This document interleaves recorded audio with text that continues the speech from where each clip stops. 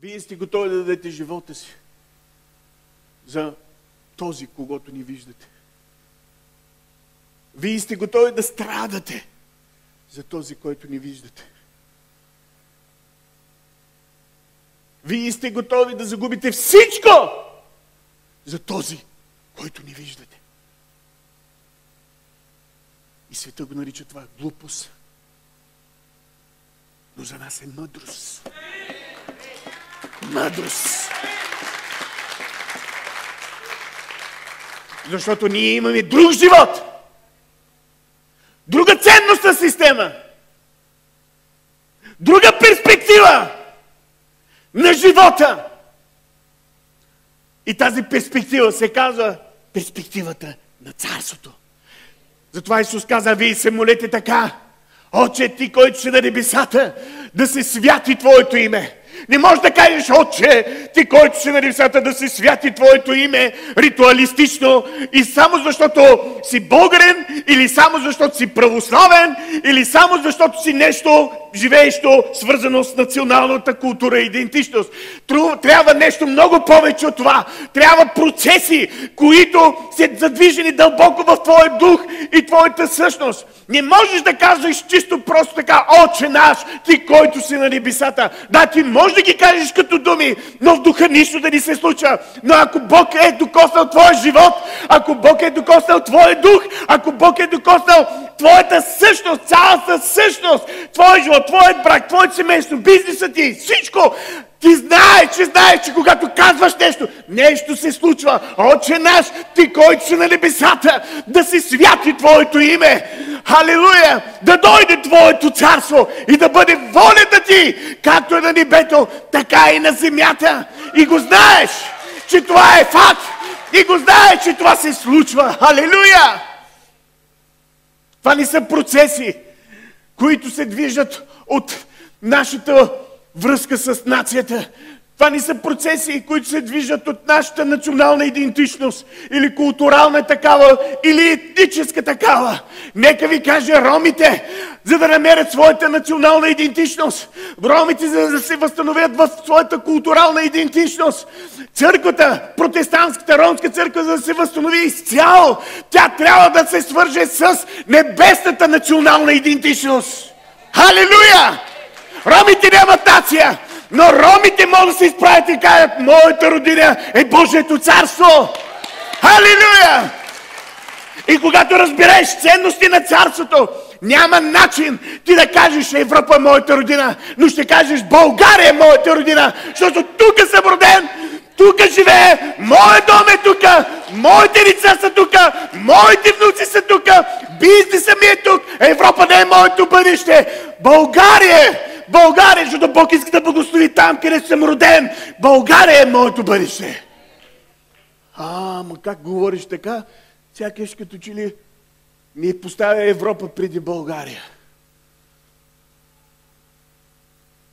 Европа ще следва България. И тогава ще започне да се нареждат неща. Тогава няма да кажат, женят се на 12 години, живеят в 19 век, защото ромите живеят 19 век. Бих казал даже на по-назад, 18 век. Номадско мислене, чергарско мислене. И, и след това за това се чудим, защо децата ни са с ментални увреждания. Защото 12 години дете ражда дете. На 14 години Цялата и физика се преобръща буквално. И затова дори в църквата имаме такива. Когато говориш с тях, те са в менталност, защото не са израснали, не са прекарали своето детство истински. Когато говориш с тях, те са като деца, а пък до нея е дете. И се опитваш да помогнеш, обаче не те разбираш, защото нещо е блокирано в ума емоциите, психиката и казваш как да се обърне това.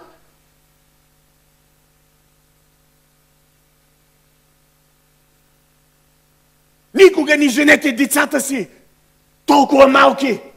Ама те се обичат. Мястото е хубаво. Лачо окерва. Ожин си, Лачо. Ти за жинса ли се жениш или за човека? Разбирате ли, човекът е индивидуален, сам за себе си. Ти не зависиш от жинса, ти зависиш от човека, с който ти живееш. Жинса може да е побъркан, но то да не е побъркан. Казах нещо, това беше от Господа, да знаеш. Защо? Защото жинса може да е побъркан, обаче ако човек е познал Бога, той идва в благодат и Бог го оправя. И не само това. А може жинса да е нормален, пък той да е побъркан. Обратно. Като скачени съдове. Опитваш се нещо да направиш, да вършиш, обаче нещо не става. Блъскаш, блъскаш. Ами какво да говорим за цялата ни ромска култура? Блъскаш, блъскаш, блъскаш, блъскаш, блъскаш. Казваш, ме дай малко. Ей, макерто дазва. Моите братя българи, като идват тук, трябва вече да научат ромски язик. Субтитри, да. Чуйте ме, чуйте ме. Казвам ви тук, че нещата не са по този начин. Нещата трябва да се променят. Що говоря, някакъв път иронизирам и ги казвам по-ромски, защото по-ромски звучат много иронизиращо.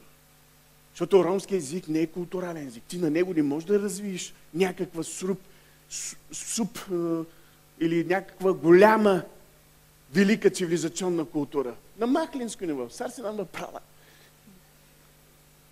Дори когато пишат някакви, някакви стихотворения, големи наши ромски поети, които са на чашка обаче, не ми се говори за творението, за твор... ромските творци. Особено тези, които казват, ние имаме велика. О, нашата култура е свързана с шумерската, асирийската, с големите, ние сме били звездобройци. Да, за това сме на това дереже.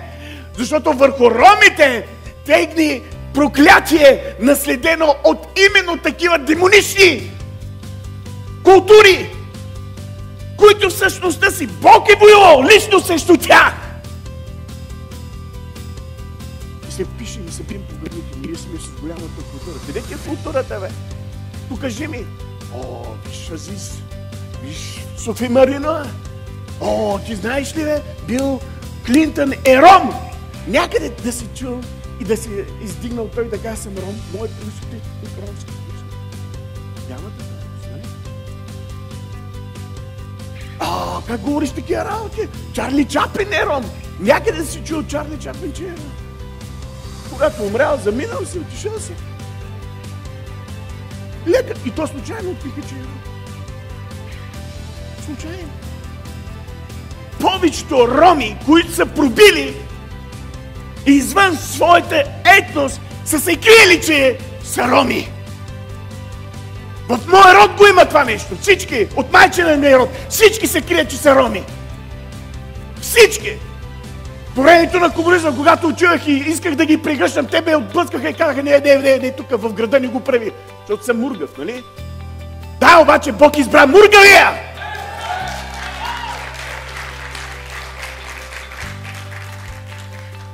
И това ми донесеше отвърляне. Защото от самият род започна отвърлянето. Като Давид. И плаках как моите роднини да се, се държат спрямо мен по този начин. Като баща ми е мургав, аз съм мургав, децата ми. Но слава на Бога за мургавостта. Мургавите са по-слаби. Това е от на Бога. Мургавите са по-слаби. Не е ли те? Соломон, кое хареса, бе? Бялата или мургавата? Саската царица каква е, бе? Никой не знае. Къде да знам? Ми, тя е мургава, бе. Мургава, бе. Не вярваш ли, бе? Значи не си вярваш. Мургава, бе, брато. Други казвайте, разбийте сте Не гледайте по начин, по който света гледа. Сменете перспектива. Как се сменя перспективата? Чрез покаяние.